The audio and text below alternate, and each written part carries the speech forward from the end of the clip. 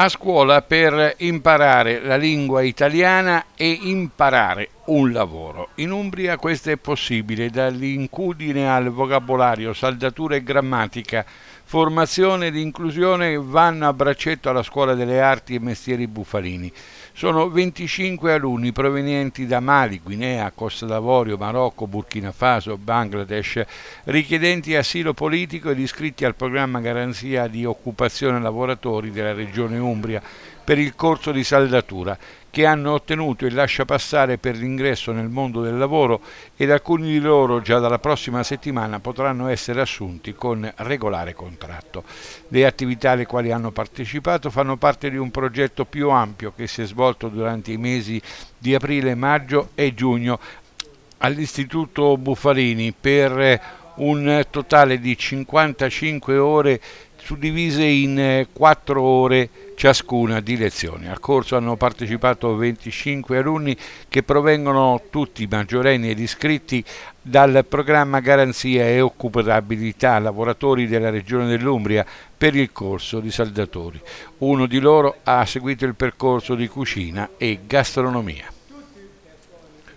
e tutto, tutto, quello che facciamo rispetta comunque la, la, società di oggi, la realtà di oggi, quindi eh, come perlomeno dovrebbe essere la nostra società e comunità, ovvero il più inclusiva possibile. Oggi per questi ragazzi è, giornata, è stata una giornata molto importante perché hanno ottenuto un primo grande traguardo formativo e professionale.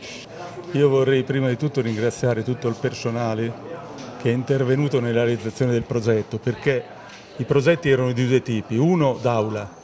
dove i ragazzi hanno frequentato un corso di italiano impegnativo per il personale perché i ragazzi erano tantissimi,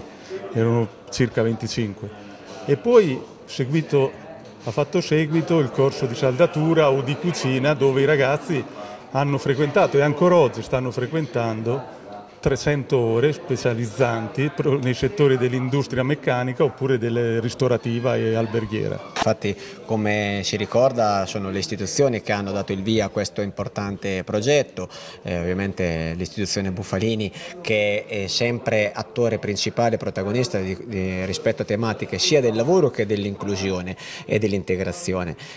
Poi ovviamente la Regione che ne ha finanziato la, la progettualità, il Centro per l'Impiego che ne ha fatto un po' la regia tutto il mondo associazionistico datoriale che eh, ne è direttamente eh, coinvolto. Città di Castello, l'Alto Tevere è un luogo dove il lavoro è protagonista, eh, i dati, anche gli ultimi dati recenti che sono stati emanati eh, dalla Banca d'Italia eh, hanno eh, evidenziato come il motore trainante dell'economia ombra è l'Alto Tevere e, e, non è un caso quindi che questi progetti nascano proprio da, da qua,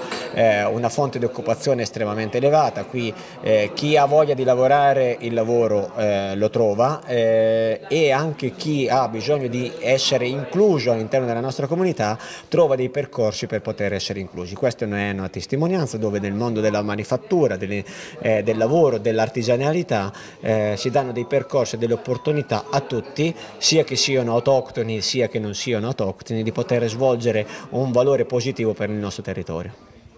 Sì, eh, oggi è un giorno importante perché è veramente un progetto di qualità dove mettiamo insieme inclusione sociale, eh, lavoro, economia, insomma è veramente un progetto all'avanguardia che guarda al futuro. Sì, sì, un modo concreto per, veramente per, innanzitutto per essere inclusivi, ma poi anche per dare risposte alle aziende che non trovano eh, comunque degli operai specializzati, insomma, e qui la Bufalini gioca un ruolo fondamentale ed importante per lo sviluppo anche economico del futuro della nostra vallata. Sì, sì, è un modo particolare, un modo, ma veramente sono iniziative significative, andiamo subito sul concreto, sul mondo reale, questo è un aspetto eh, fondamentale su cui imposteremo tutta la nostra legislatura e il nostro mandato.